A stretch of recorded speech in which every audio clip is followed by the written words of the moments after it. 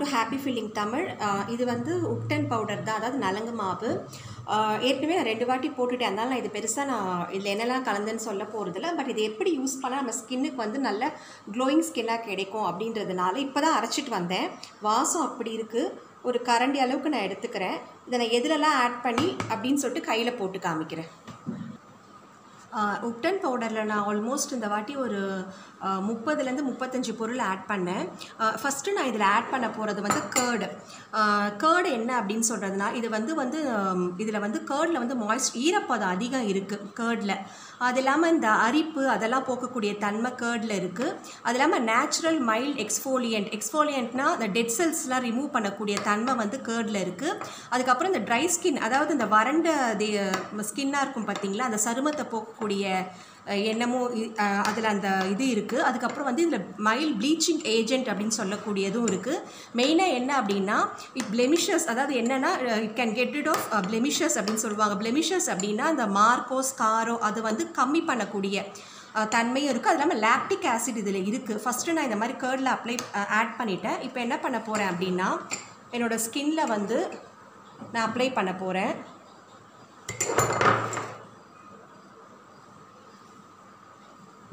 எப்படி இருக்கு பாருங்கள் நான் கொஞ்சம் தான் ஆட் பண்ணேன்.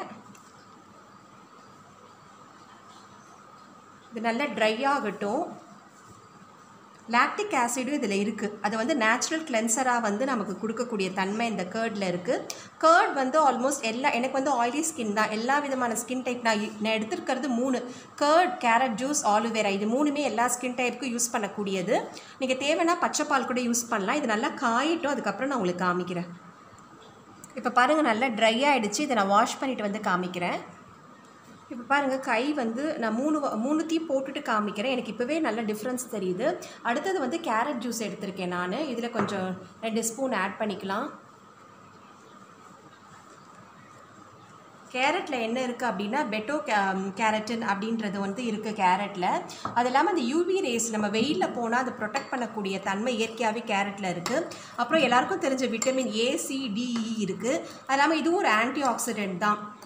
அது இல்லாமல் வந்து பொட்டாசியம் கால்சியம் மெக்னீஷியமும் இருக்குது அப்புறம் வந்து இது ஈரப்பதம் கொடுக்கக்கூடியதான் கேரட்லேயும் இருக்குது அது இல்லாமல் அந்த நமக்கு வந்து ரிங்கிள்ஸ்ன்னு சொல்லக்கூடிய சுருக்கத்தை முக சுருக்கத்தை போக்கக்கூடிய தன்மை கேரட்டில் இருக்குது இதுக்கு நல்லா கலந்துடுறேன். இது கொஞ்சம் லிக்விடாக தான் இருக்கும். என்ன காரணம்னா கேரட் ஜூஸ் எடுத்திருக்கோம் பார்த்தீங்களா அதனால். முன்னாடி எடுத்தது வந்து திக்கான தயிர். அதை நான் வேஸ்ட் பண்ண மாட்டேன். அப்புறமா ஃபேஸ்க்கு போட்டுப்போம். நானும் என்னோடய டாட்டரும்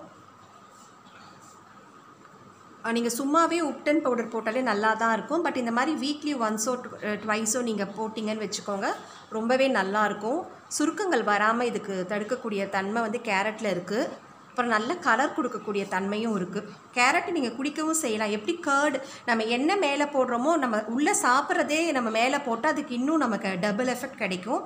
நல்லா காயட்டும். அதுக்கப்புறம் உங்களுக்கு நான் கா காமிக்கிறேன்.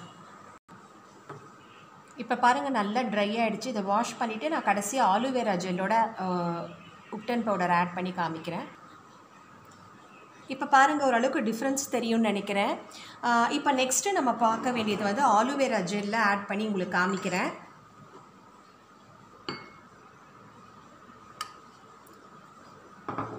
ஆலுவேரா ஜெல் வந்து நம்ம மாடியிலேயே டெரஸ் கார்டன்லேயே நிறைய இருக்குது ஆலுவேரா ஜெல்லில் என்னெல்லாம் இருக்குது அப்படின்றத நான் சொல்கிறேன் இது அப்படியே கலந்துக்கிட்டே இது வந்து ஒரு லேயர் அதாவது ஸ்கின்னை வந்து காப்பாற்றக்கூடிய தன்மை இதில் ஜாஸ்தியாக இருக்குது இதில் வந்து ஆன்டி ஆக்சிடென்ட்டும் இருக்குது ஏதாவது நமக்கு வந்து ஒரு சின்ன அடிப்பட்டதோ அதாவது நான் வந்து இப்போ நமக்கு வந்து ஒரு தோலில் வந்து உங்களுக்கு ஒரு இச்சிங் மாதிரி ஒரு அரிப்போ அந்த மாதிரிலாம் இருந்தால் கூட போக்கக்கூடிய தன்மை வந்து ஆலுவேராவில் இருக்குது அது இல்லாமல் இது வந்து நேச்சுரல் மாய்ஸ்சரைசர் ஈரத்தன்மை இதில் இருக்குது பாருங்கள் எவ்வளோ திக்காக இருக்குது அந்த ஜெல்லே அதுக்கப்புறம் வந்து ஸ்கின் ஏஜிங்கை நமக்கு வயசு வந்து இளமையாக காக்க காக்கக்கூடிய தன்மை வந்து இதில் இருக்குது அது இல்லாமல் ஏதாவது இன்ஃபெக்ஷன் இந்த மாதிரி முகத்தில் இருந்தாலும் இது போகக்கூடிய தன்மை இருக்குது அதுக்கப்புறம் இந்த பிளெமிஷஸ் நான் சொன்னேன் பார்த்தீங்களா மார்க்கோஸ் காரோ அதை வந்து கம்மி பண்ணக்கூடிய ஆற்றலும் இதில் இருக்குது உலகத்திலே சிறந்தது வந்து ஆலுவேரா தான் என்னை கேட்டால் இதை நான் வந்து நல்லா இப்படி கலந்துட்டேன். இப்போ இதை நல்லா நான் ஆட் பண்ணுறேன்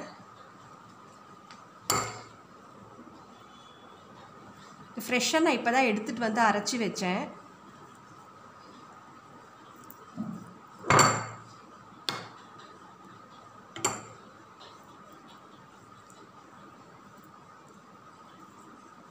இது நல்லா காஞ்சிட்ட அப்புறம் உங்களுக்கு இன்னும் நல்லா டிஃப்ரென்ஸ் தெரியும்.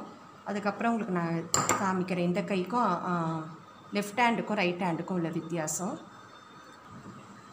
இப்போ பாருங்கள் நல்லா ட்ரை ஆகிடுச்சு இப்போ நான் வாஷ் பண்ணிவிட்டு முடிஞ்சு போச்சு. நான் ரெண்டு கைக்கும் உள்ள டிஃப்ரென்ஸை காமிக்கிறேன்.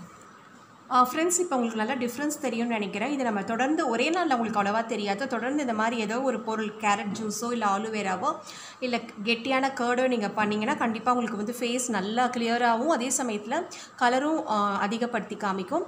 இந்த வீடியோ உங்களுக்கு பயனுள்ளதாக இருக்கும்னு நினைக்கிறேன். கண்டிப்பாக நீங்கள் என்னோடய சேனலை சப்ஸ்கிரைப் பண்ணுங்கள் அடுத்த ஒரு நல்ல வீடியோவில் உங்களை உங்களை சந்திக்கிறேன். Bye take care